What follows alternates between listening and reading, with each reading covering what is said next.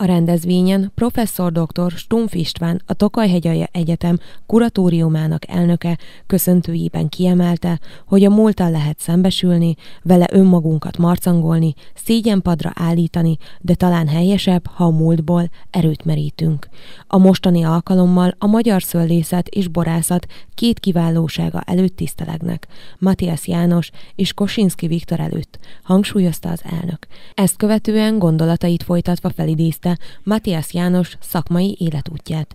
Beszédében hangsúlyozta, hogy a szöllészetből, nemesítésből valóságos sportot űzött. Ennek az elhivatottságnak tudható be, hogy birtokai átvészelték az 1885 és 1890 között a kétszer is pusztító filoxéria járványt, és vagonszámra szállította a szőlővesszőket, hogy újraélessze Tokaj alját, hangsúlyozta a kuratórium elnöke. Matthias Erzsébet Viktória, a Matthias Életmű Program elnöke ismertette Matthias János élettörténetét, aki 1838. február 22-én Ádámföldjén született egy nyolc gyermekes családba. A fajgyűjteménye cserepes példányaival először az 1873-ban a Bécsi világkiállításon vett részt, ahol elnyerte az első díjat. A váratlan siker Matthiaszt a szöllészeti szakterület élvonalába emelte, és többfelől is igen rangos meghívást kapott az évek során. A Matthias életmű program elnöke kiemelte, hogy Matthias nem csak Tokajban alkotott maradandót, hanem az egész világot bejárta boraival, csemegeszőlőivel, 200 világverseny nyert. Dr. Kosinski György, a Széchenyi Társaság tagja köszöntőiben kiemelte, hogy Kosinski Viktor tevékenységét idézik fel, különösen azért itt, mert Tokaj hegyeljához munkájához erőszállal kötődött a szakmai munkássága. Gondolatait folytatva kiemelte, hogy a két szöldészborász az őket követő nemzedéknek képzésében jelentős szerepet játszanak. A tudás, a megszerzett tapasztalat csak akkor válhat értéké, ha azt tovább visszük, hozzáteszünk, gyarapítjuk az újabb és újabb kutatási eredményekkel, és átültetjük a gyakorlatba, hangsúlyozta dr. Kosinski György, dr. Horváth Ágnes, a Tokajhegyalja Egyetem rektora beszédében kiemelte, hogy Arany János azt mondta, hogy Matthias János olyan a szöllészetben és borászatban, mint Petőfi a költészetben. Amikor ezt a mondatot idézzük tőle, akkor ezt azért tesszük, mert Matthiasban és Petőfiben van egy közös nevező, ez a kiválóság, kiváló minőség. Higgyünk Arany Jánosnak, aki pedig kételkedik, böngésze át Matthias Jánosnak az életét, hogy elámuljanak, mert ez a jogász végzettségű ember nem akármit vitt végbe a szőlő és a borok világában, hangsúlyozta a rektor. A Tokaj-hegyai Egyetem szőlészborász képző területe, a Lórántfi Intézet az, aki ennek a, a rendezvénynek a házigazdája. Ők azok, azok, akik fölvállalták azt, hogy Matthias János és Kosinski Viktornak a, a munkásságáról egy olyan emlékülést szerveznek, amelyben e, nem csupán beszélünk arról, hogy mi történt a múltban, hanem megpróbáljuk azt előrevetíteni a jövőben, hogy hogyan lehet mindazt a tudást, amelyet ők birtokol voltak valóban hasznossá tenni a napjaink fiataljai, a napjaink borászai, szőlészei számára. A Tokaj Hegy Egyetemnek küldetése, hogy a szőlészborász képzésben olyan minőségi képzést nyújtson az itt lévő hallgatóknak, illetve olyan példát mutasson a világban a szőlészborász területen dolgozóknak, hogy akarjanak Tokaj-hegy aljára jönni, és akarják megismerni mindazt, ami Tokaj-hegy alján zajlik. A Tokai bornak a minősége mellé a Tokaj Hegyai Egyetemnek csak kiváló teljesítményt lehet nyújtani.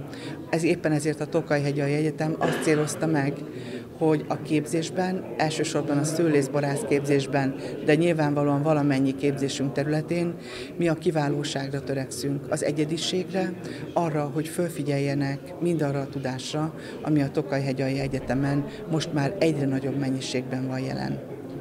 A mai világban nincsenek rejtett titkok, azt gondolom, hogy ha valaki utána akar nézni egy-egy szakmának, hogy ott mi történik, akkor rengeteg információ áll rendelkezésre. És a másik oldalról pedig azt látom, hogy mégis különösen a felnövekvő generáció, mintha egy kicsit burokban élne. Tehát mintha egy kicsit megragadtunk volna annál, hogy a szőlész-borász képzésben a legfontosabb dolog az az, hogy ki kell menni, és egész nap kint kell állni a szőlőben. Hozzáteszem, hogy ki kell menni, nyilvánvalóan, de hogyha ezt nem a kellett használjuk, hanem azt, hogy lehet, akkor az ember már is jobban érzi magát ettől. A mi képzésünk az gyakorlatorientált, tehát akkor, amikor a szőlészborász hallgatók bekerülnek hozzánk bármelyik képzési formába, akkor az első perctől kezdve a kollégáink, akik az oktatóik, az ő kollégáik is lesznek, együtt mennek ki a gyakorlati helyszínekre, és a gyakorlaton keresztül tanulják meg mindazt, ami a szakmájukhoz szükséges. Én bízom abban, hogy a kollégáim képesek arra, hogy mindazt adaptálják, amely az életutakból adódik, és az életművekből látható, és bízom abban is, hogy akkor, amikor az egyetemnek a kampusza megújul, az épületünk egy új fénybe öltözik majd két éven belül, akkor lesz nekünk egy olyan terünk, ahol mindezeknek az életműveknek valódi teret tudunk adni. Dr. Molnár Péter, a Tokaj Hegyalja Egyetem kuratóriumának tagja köszöntőjében kiemelte, hogy azok az elődök egy bizonyos korszakban rengeteg alázattal hatalmas munkát tettek a borvidék és a nemzet szakmai építésébe. Az ő példájukat hogyan tudjuk követni? Tette fel a kérdést Molnár Péter. Számunkra ugye, ha visszanézünk a történelemre, látszanak a sikeres és kevésbé sikeres időszakok, illetve hullámvölgyek, amely mindig is jellemezte nem csak Tokaj hegyalját, hanem az egész világ szöllészet borászati fejlődését. Molnár Péter úgy véli, hogy mindig megvannak azok a szakemberek, akik a zászlót viszik, akik szakmailag kiemelkedők voltak. A köszöntőket követően előadásokat hallhattak a jelenlévők. Többek között Bene Zsuzsanna, oktatási rektor helyettes egyetemi docenstől. Az agrártudománynak a kiemelkedő területe a szőlészet és borászat, és kifejezetten abban a régióban vagyunk, ami nagy részben a szőlészetre és a borászatra fókuszál. Nagyon fontos is, mindig elmondom, hogy vannak olyan borrégiók, illetve borvidékek, akik elsősorban a bogyó miatt léteznek, tehát maga a szőlőtermesztés miatt.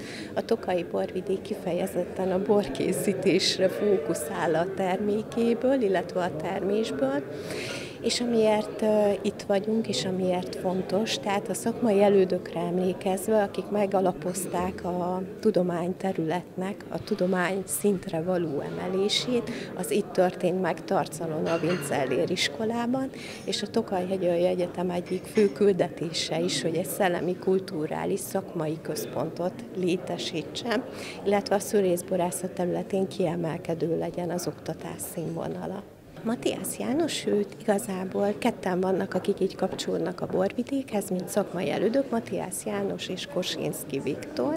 Matthias János, ő egy szőlőnemesítő volt, ő neki köszönhetünk rengeteg csemegeszőlőt, rengeteg szőlőfajtát, apró szorgos munkával oltogatta, és úgy, már ő előre felkészült a filoxéra víz utáni helyzetre, amikor is elpusztultak a szőlőültetvények, és ő volt az, aki rendelkezésre bocsátotta a különböző fajtákat, amelyeket a Kosinski Viktor munkássága révén amerikai szőlő alanyokra oltottak, és így vissza tudták telepíteni a borvidékre. Tehát nélkülük nem ez az arculata mutatkozna meg a borvidéknek, és lehet, hogy a Botrytis cinerea, mint nemes rothadás főokozója sem lenne a borvidéken ilyen nagy mértékben jelen kutatóintézetnek van egyfajta gyűjteménye, amelyek nagy részt ezekből a fajtákból tevődnek össze, tehát nap mint nap megtapasztalhatják a fajta gyűjteményben, lépegetve és nézegetve a fajtákat. Hogyha ők nem lettek volna, ez a fajta gyűjtemény sem létezne. Tehát ez is egy kézzelfogható eredmény, illetve az ő általuk elkészített tudományos művekre alapozva oktatjuk a hallgatókat is, a modernkori gyakorlati ismeretekkel kiegészítve. A megjelentek megismerkedhettek a szöllészettel, borászattal egészen a 19. századtól kezdődően a két szöllészborász munkássága által. A program végén kötetlen beszélgetések zajlottak.